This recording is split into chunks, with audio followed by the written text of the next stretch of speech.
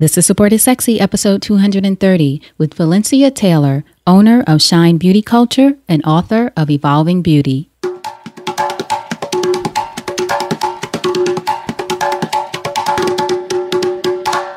Welcome to Support is Sexy. I'm your host, Elayne Fluker, entrepreneur, author, and founder of Chic Rebellion Media. Five days a week, Monday through Friday, I interview inspiring women entrepreneurs who share their wins and their lessons to help you take your business and your life to the next level and create something sexy. Here we go.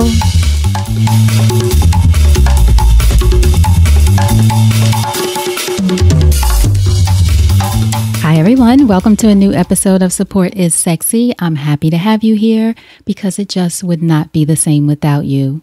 And today, if you are a beauty girl or a beauty guy, no judgment, no judgment here. Beauty girl, beauty guy, if you're into the beauty industry, thinking about making beauty products, anything like that, this is the episode for you. Today we have beauty expert Phylencia Taylor, and Phylencia is the owner of Shine Beauty Culture, which is a beauty consultancy, and she is also the author of two books. One is the book Evolving Beauty, which gives tips about entering the beauty industry, something she said she doesn't feel like she had when she first entered the industry a decade ago, and also the Evolving Beauty Planner, which is a tool to help you plan your journey through the industry and in being successful.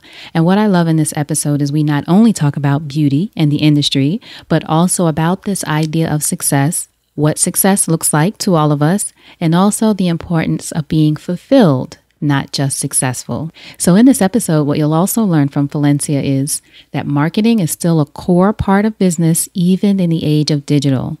One of the biggest mistakes beauty brands make, how to know when a product is working and when it isn't, the value of utilizing guerrilla marketing tactics, her beauty breakthrough theorem, how to view beauty as a tool of empowerment, Phylencia's advice for being successful and happy, as we talked about, also, when it comes to your journey, everybody can't come, which is an episode I did on the podcast before. So go back and listen to that.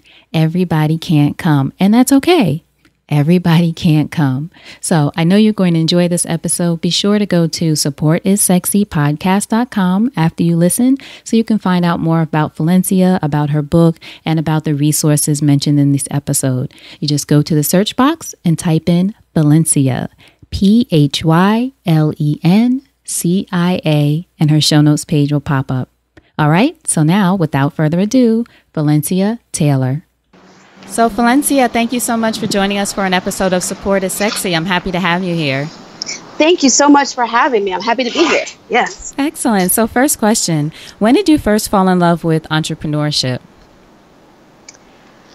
I was a late bloomer, and I'm I call myself a, a self-professed late bloomer. So um, I had few entrepreneurs in my family, so it wasn't something I could model myself after.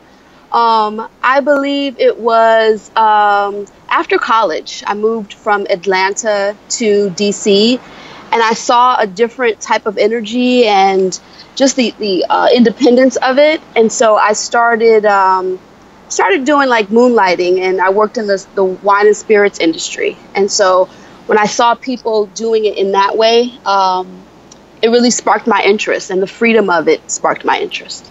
Did you grow up in Atlanta, or did you grow up in DC? I grew up in upstate New York, um, oh, okay. Buffalo, New York, small town, Buffalo, New York. Um, and then I went to school in Atlanta. I moved around quite a bit. I went to school in Atlanta and moved to DC after uh, undergraduate school. So, um, where'd you go to school? I went to Clark Atlanta University for ah, undergrad. Okay. And then I went to American University for graduate school. What did you study? What did you think at that time that you were going to be when you grew up? oh wow, I'm still trying to figure out what I'm going to do. right? Aren't we all? um, I I just knew that um, I knew I wanted to help people, but I also had a, a, a, business mind. So I went to undergrad for business administration and I concentrated, focused on international business. So I thought it would be more of an import export situation, which I believe it will still evolve into that. Mm-hmm. Um, but uh, that that's what I was thinking. I just knew business. You know, I came from you know my family. Uh, my mom was a teacher, and she was a business teacher, and so I kind of kind of didn't know what I wanted to do initially. So, um, and this was uh, 95 years ago, so it's a little bit different now. right. So, um, I, I knew it was going to be business, and so that that that part I did know. What was a young Phylencia like growing up in upstate New York? Oh wow! Believe it or not, uh, I was very shy, and I still can be, but I was very shy. Um, and um, I danced. So I, I, won a couple pageants. So mm. I, you know, hmm. kind of became popular from that, or not popular, but you know, it's a small town, so people people know, small city rather. Um, and um, I started school in the inner city, and then I moved out to the suburbs for high school, and it kind of changed my perspective of life a bit. Mm-hmm. Um, just because of the demographics, uh, the concentration of students, um, there were maybe 50 multicultural students in the school, including myself, of a school of maybe, I don't know, 1,600. Mm. So, it, yeah. what kind of experience did that give you overall? Um, it broadened my horizons from a socioeconomic standpoint, where you know we moved from the city to the suburbs, and I saw people that you know were a lot a lot wealthier. Mm-hmm. And, you know, we didn't have lacrosse in the city. We didn't have horseback riding. We didn't have skiing in the city. Um, but those were all sports that were offered at my school. And so seeing that, it was, it definitely, you know, changed the perspective. So that was the good part of it. But the other part of it is I saw, you know, I, I think I saw racism for the first time. I hadn't seen it before high school. Um, and I think as a, as a teenager, I experienced that firsthand. Um, but the other part of it is is that my world became a lot more multicultural at a younger age, where I was engaging with people that were that didn't look like me. So you know, there, there pros and cons to it all. Mm-hmm. It teaches you a different way of operating in the world. I feel like I went to, I lived in a uh, predominantly black neighborhood, but went to school where myself and only one other black girl were in the class from first through eighth grade. Oh wow! So it was, it was quite interesting, but it just, I don't know, it's a unique experience. It is, and you become the prototype, and you become the, mm. the benchmark, and you become the go-to, and you're under a microglass, a micro, a microscope. So it's a different, definitely a different experience. Who would you say were some of your greatest influences growing up? The women in my family. I have um, strong women in my family that um, make things happen and are, you know, persevere and go-getters and, you know, spiritual women. Um, so I would say my mom, and uh, my aunties. Now, when you were, you mentioned that you always thought that you would go into business and that kind of thing. What was your first step after? Well, I know you worked in wine and spirits and that kind of thing, but how did you transition into the beauty industry? I worked in wine and spirits, um, and from DC, the job that I had, they moved me to New York. I worked with um, U.S. Concepts, which is an extension. At the time, it was an extension of um, LVMH and Diageo. And today, I think they're under a moniker called uh, Marketing M- MKTG. Mm-hmm. So anyway, um, I moved from DC to New York, and um, I had some friends that said, "Oh, you know, there's an opportunity. You should, you know, apply for it." Because I just, I just wanted to explore, and I kind of went on an exploratory interview um, at Wella Corporation, that was moving a small division of theirs to Hackensack, New Jersey. Sorry if you hear a truck, I'm outside. um, and I went on the interview and they offered me a job and they offered me like like twenty thousand dollars more than what I was making at the time, and I was you know a little bit younger. I had just moved to New York a year before, and um, that was my first job in the, in the beauty industry. And since then, you've been in the beauty industry for more than a decade now, right? I have. I've I've been in the beauty industry in different facets. Right. Um, as brand manager at a couple of different companies. Um, also, even on the agency side, I did. I went back to wine and spirits. I kind of combined that where I did um, Crown Royal Barbershop and um, Bailey's Beauty Shop. So I, I, managed some of those programs nationally, uh, combining, you know, beauty and spirits, which sometimes goes together well. but, um, but yeah, I've been in the industry for a while. So in 2007 uh, which was 10 years ago, I started uh, Shine Beauty Culture, which is a consultancy that I have now. Um, but I started as a trade show at the Indiana Black Expo that transformed into a print magazine, Shine Magazine.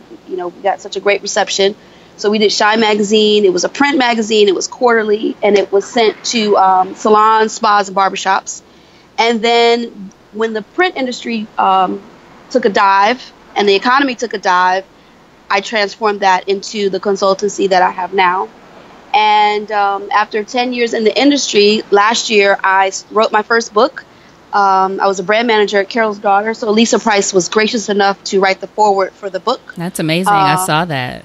Yeah, she and today happens to be her birthday. How about Happy that? Happy birthday, Lisa! Happy birthday, Lisa. Yes. Um, so I've just really have been focusing on the consultancy and growing the evolving beauty business because I launched um, a second book this year, which is a planner. Um, and evolving beauty was inspired by creating the tools to um, to boost the evolution of success. And like I said, I'm a late bloomer, so I created things, or I'm creating, continuing to create things um, that I need or that I needed as a you know as a young woman entering into the beauty industry, entering into entrepreneurship that I didn't have, um, that I think are needed. And I'm like, if I needed them, then I'm sure there are other women that need them as well. So I wrote the business book first, and then this book is a planner. And both are called Evolving Beauty. Correct. So the mm-hmm. first book is Evolving Beauty, the business of beauty in a new age. It's kind of marketing 101 times digital 2.0 um, because I think people forget that underneath e-commerce and underneath the world of digital and social media, there's still core marketing values that we need to support branding. And yes, it has changed, but there's still some fundamental things that exist to create longevity because that's what I'm all about, like making small brands become big brands and big brands become legacy brands. Mm-hmm. Now, did you start Shine Consultancy while you were still working full time in the beauty industry, or what pushed you to decide I'm going to set up my own consultant business?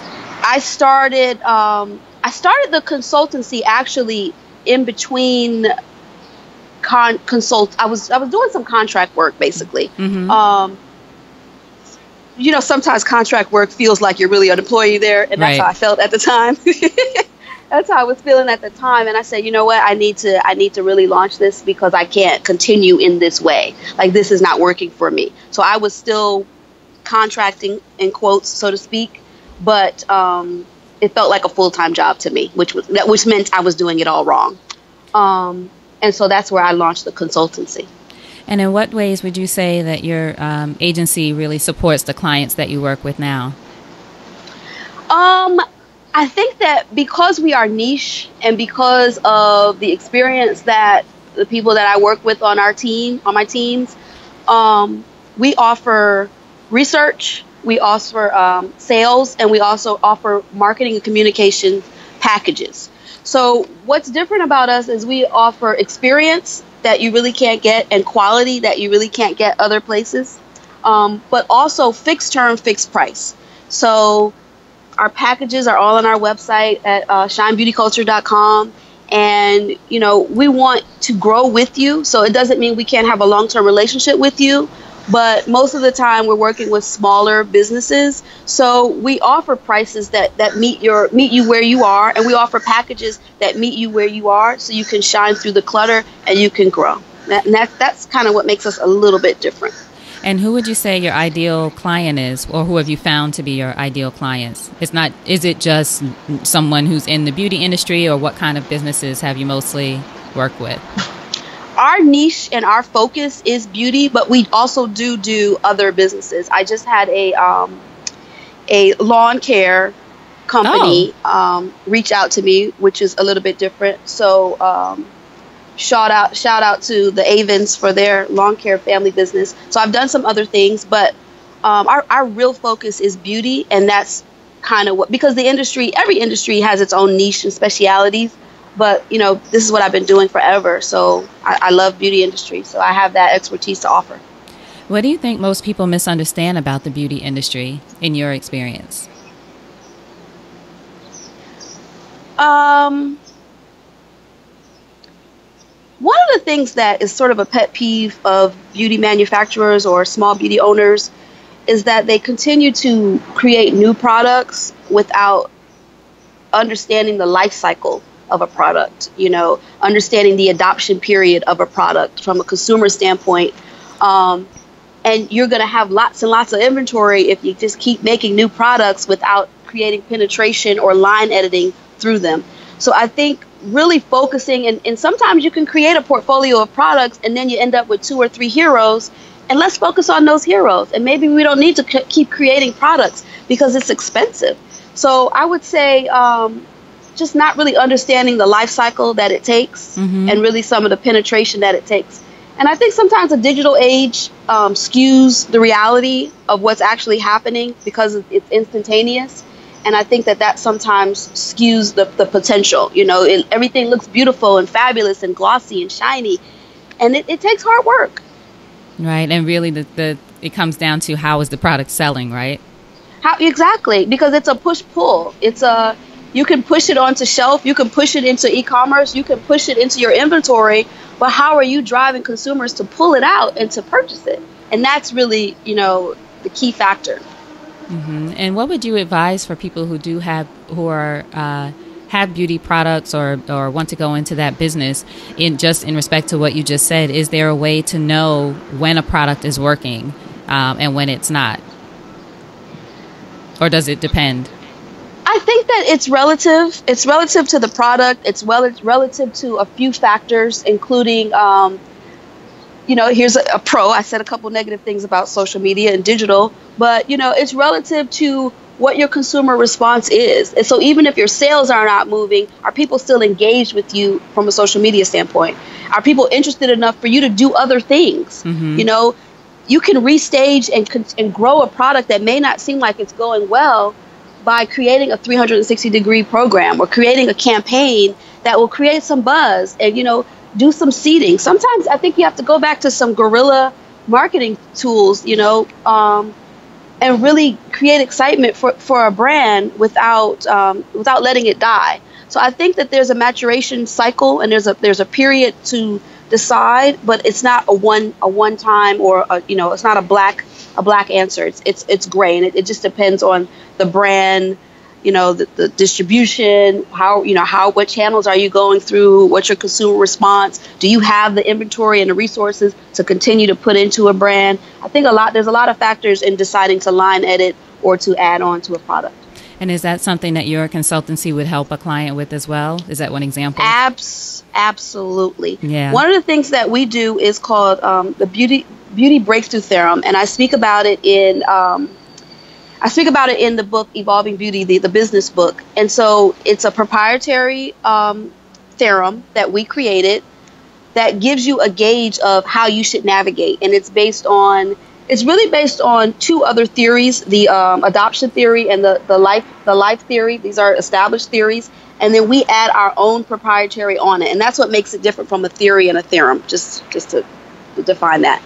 Um, but we create uh, we created the beauty breakthrough theorem as a navigation tool on how you can break through the clutter and shine through when you are deciding oh you know what let's create a line extension or you know is, is this product over? Have we has it run its course? Should i should i partner with this this group or this person?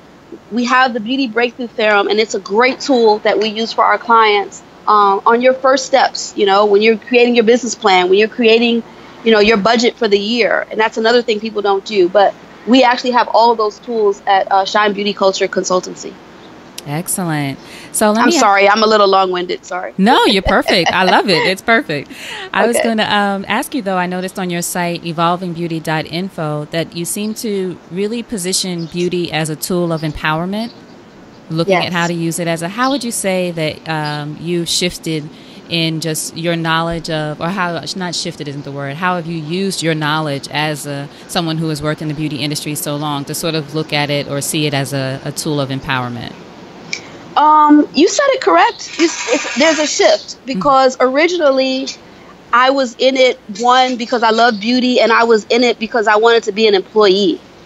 And when I decided I didn't want to be an employee anymore and I wanted to be an entrepreneur, consultant first, and then an entrepreneur of sorts, um, I wanted to create more value. Mm-hmm. And in creating that value, because sure, we like the beauty industry, it looks great, it looks pretty, but I wanted to create more value. And in creating that value, you know, um, that's where evolving beauty was inspired from. Again, me being a late bloomer, there's some tools that I wish I had had early on in my career, such as mentors, such as just some business fundamentals, um, such as you know the sponsor in the corporation, um, and then also how to guide my own life. You know, what are my priorities? What is my passion, my purpose, and how much money or profits do I need to, to give back and to support and to, just to, to do something different? So, in two ways, when I shifted from being an employee to an entrepreneur, it made me look at the world and life and women and things differently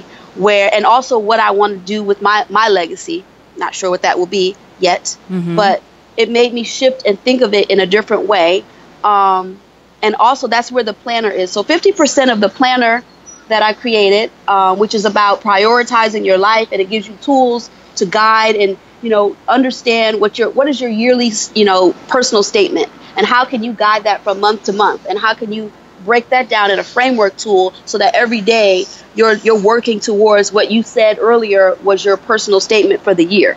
So you know we, we set these big business goals but we don't always have the tools or we sometimes we don't even have the background to help us structure our personal lives that we can achieve them you know, if, mm-hmm. if your house is a mess and your my, my mom used to say if your house is a mess and your car is a mess, your life is probably a mess. So how do you get yourself organized, especially as moms, as wives? You know, we have so many things to do.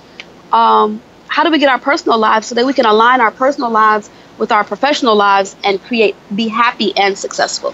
And that's the title of the planner. It's uh, Evolving Beauty, the Planner, Essential Tactics to Being Happy and Successful. Because we know lots of people with lots of money. We know lots of successful people. Success is relative. We discuss, discuss that in the book. Mm-hmm. But they're not always they're not always happy. You know, they're not always happy. And the worst thing I want to do is when I get to the multimillionaire status, that I'm not happy. How can that be? Like, what are we working towards? What is the point? Right. So I, I don't want to be that, and I refuse to, to be that when when I become that. I, I just refuse to, to be that, and so I would like to have a tribe around me that's happy and successful. Tony Robbins says, uh, and I always quote this: "Success is nothing without fulfillment." Yes. So you have, yes. as you said, these millionaires, billionaires, all of these people. Not that all of them are unhappy, but they're we assume that they would be. But if they're not fulfilled, it just doesn't work. And, and that's that's what I that's you're you're so true. I mean, that's so true. That's what I learned, and that's that was part of the inspiration for it because in my 10 year career in corporate agency consulting, I've been in boardrooms, VIP rooms, backstage production rooms and i spent a lot of time with c-suite executives in different ways mm-hmm. and i'm like how and you know you get to share things you end up you know you go to their homes or you you know you go to their kids birthday party and you see you know different parts of their personal lives and it lets you understand like wow like they're so wealthy and they have everything you could think of but they're not really that nice mm-hmm. or they're really they're really angry or like wow she's really a witch you know what right. i mean like you really get to, to learn and, and see what's really happening up close and personal. So that was part of the inspiration for the book. So, what would you say, uh, speaking of the title of the book, Essential Tactics to Being Happy and Successful, what would you say you've learned about being happy and successful while creating these projects? In the midst of creating the projects? mm-hmm. In the midst of, or after, or um, did it change your mind, or you know, shape your view, or change your view in any way about this? What we just talked about, being happy and successful, what it looks like, or what it means to you? Well, one, I'll, I'll say a little bit of what it means to me, and I think that, and what I learned through through developing both of these projects is that one, you know, just keep on living because life is learning is an is an evolving process, and mm-hmm. success is a journey. It doesn't just happen one one day and you're successful because once you obtain that goal, you still have more life to live. And so you're going to stop learning or you're going to stop growing or you're going to stop evolving because you've attained a couple of goals or whatever you deem as successful. Um, and I just feel like, you know, we have so much to learn. Like no one knows everything, you know. And also for me, um, it made me remember that work is not does not define you, you know. Your work does not define who you are and I think I had to had to remember that you know, you know when you come come to my my service, my funeral, um, I, I don't think many people are going to say, "Oh, she worked so hard," right. or "Oh, she was she was such a great," you know. And I, you know, I worked so many hours. I used to work so hard and so long and spend so much time, and I still do. I still work hard, but I need that balance, you know. And I think I, I it really reinforced everything as I was writing the books and I was I was developing them. It reinforced how much balance is in your life because I was like, wait a minute, I'm kind of unhappy right now. I'm becoming one of those people. exactly. So uh, yeah, just just really creating that balance in your life. What would you say entrepreneurship has taught you about yourself as a woman? Strength. I think you develop a strength that you didn't know that you had. Um, for me, a strength and a pers- perseverance, um, and which e- with each each goal that I've achieved, um, it, it reinforces again that wow, like you know, I didn't I didn't know I could do that you know? And so it gives it builds your confidence. It's strength and confidence for me. Would you say that there's been any um, any lessons that you've learned along the journey that have been a surprise for you uh i would say my uh the people around me sometimes I, I think it surprised me the responses you know everyone's not always happy for you, even though you think they are or you think they should be. And it, it, it's disappointing, mm-hmm. but you have to understand it and respect what it is, and you know understand that everybody has different. Uh, everybody has a different emotional maturity. Everyone has different levels of confidence and insecurities, and we all have insecurities. And sometimes it's never personal, but sometimes people don't know how to project that. So, I, do I necessarily think that this person is jealous? Maybe not maybe they just don't know how to project that they want to do something else too, mm-hmm. you know? And so it's a little disappointing. I just have to love them from afar. Yeah, I did a podcast episode sort of about that, just this idea that everybody can't come. Everybody can't come. Everybody can't come, and it's not everybody like, can't. Oh, yeah, like yes. you said, you can, you know, love them from a distance, and that you're going at your own pace. And some people will want to keep up, some people won't. So how do you um, do you is loving them from afar the way that you deal with something like that? Because that can be hard. I know I've been through that where um, not necessarily people are negative, but sometimes you think, oh, I thought this person would, you know, fill in the blank, and it's sure, sort of like sure. we have these expectations of people, and sure, they're in their sure. own thing. they're doing their own thing.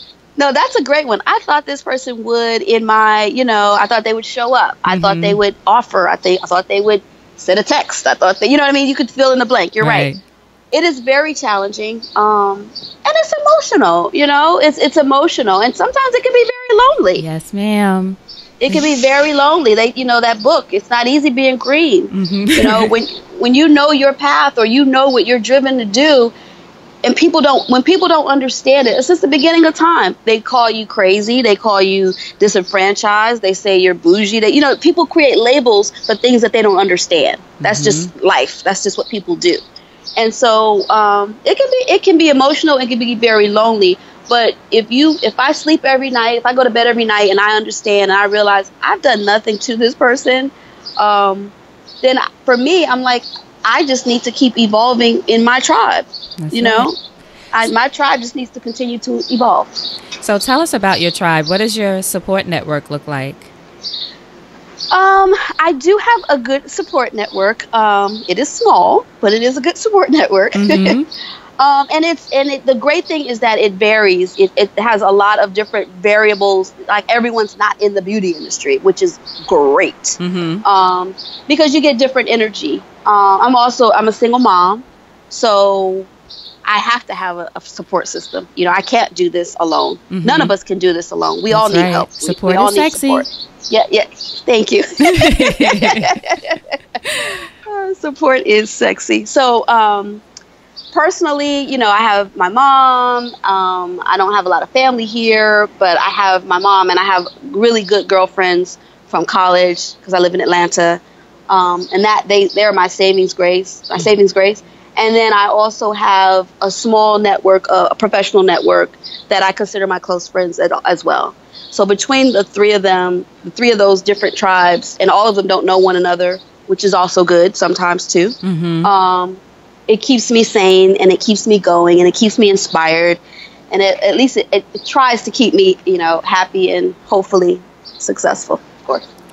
So, if you think of your life and your career, and you had the chance to thank only one person whose support was critical to you personally or professionally, who would that be and what would you say?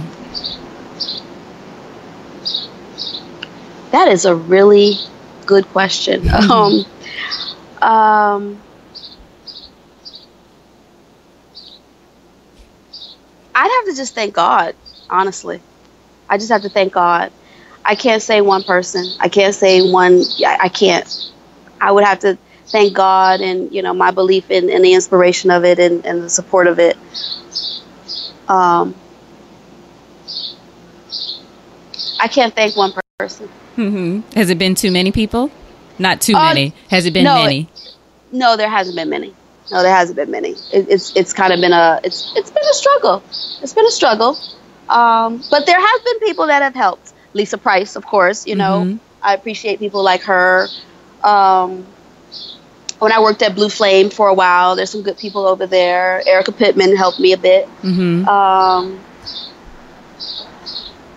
yeah, there, there's there's been a, a, a few. Mm-hmm. Maybe uh, Paul Estevez. He's over at um, at uh, the agency. I forget the name of it, um, but he's over there. He's helped me quite a bit as well. So I, I would say, you know, not not there hasn't been a whole lot, but there, there of course, people have helped me. Of course, they have. Listen, yeah. nothing wrong with thanking God. I'm not trying to get anybody other than that. nothing wrong with that. So tell yeah. us how we can support you. I'll have links, of course, to your websites and social media, but tell everyone just where they can find you and all that good stuff. Sure. Um, you can find me at evolvingbeauty.info is the website, and those are also my handles for uh, Instagram, Facebook, and Twitter is underscore evolve beauty, but everything else is evolvingbeauty.info. And you can email me at info at uh, shinebeautyculture.com or info at evolvingbeauty.info. Info at shinebeautyculture.com. Yes. Okay, great. So people can reach out to you. Fantastic. I love it. Don't be surprised if you get some emails. Oh, I love to. Thank you. Please, please bring them, send them my way. Yeah, excellent. Thank you so much for your time today and taking time out of your busy schedule to chat with us. I appreciate you. No, thank you. I appreciate the, the talk, and I appreciate that it was thought provoking. Like you, you actually made me think about some of these answers, which oh. I don't often do on on interviews. So thank oh, you. that's good. Such a compliment. thank you. You're now, welcome. Be- before you go, Phylencia, what's a parting piece of advice from you to our listeners about anything? I would just say try and do. If you if you don't make an effort, you'll never know what you're capable of and you don't want to you don't want to take your your ideas and your inspiration and your spirit to the grave. So just try. Give it a try. So many people don't just try. Excellent. Phylencia taylor hold on just a second. Sure.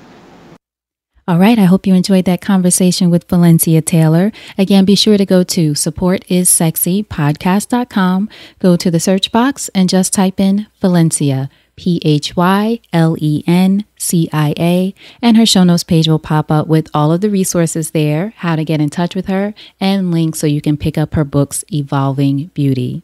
Also, I really appreciate you guys listening. You know this. And I appreciate that some of you, many of you, in fact, have gone and left a review for the podcast, which is something I've been asking for at the end of each episode. Subscribe because I want to make sure you don't miss anything. So, subscribe wherever you're listening, but also leave a review if you love the show or not. But I I'd really love to hear from you if you love the show. So I really appreciate you all leaving me reviews. Want you to know I'm seeing it and I'm very grateful. Some of the people who've left reviews recently, Raina Campbell, who was a wonderful guest on our show actually.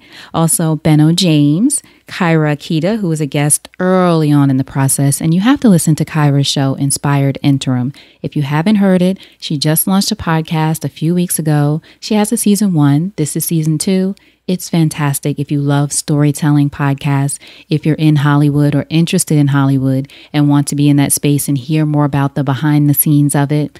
Kyra is hilarious, first of all, but a great storyteller. So thank you, Kyra, for leaving a review. But for all of you listening, whoever you are, wherever you are, I would love to hear from you. So please leave a review for the podcast. As I always say, I'd love a five star review. So far, we have almost 50 five star reviews.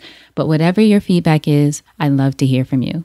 Again, thank you all so much for listening. I appreciate you. And now you know what to do. Go out there and create something sexy. And I'll talk to you soon. Take care.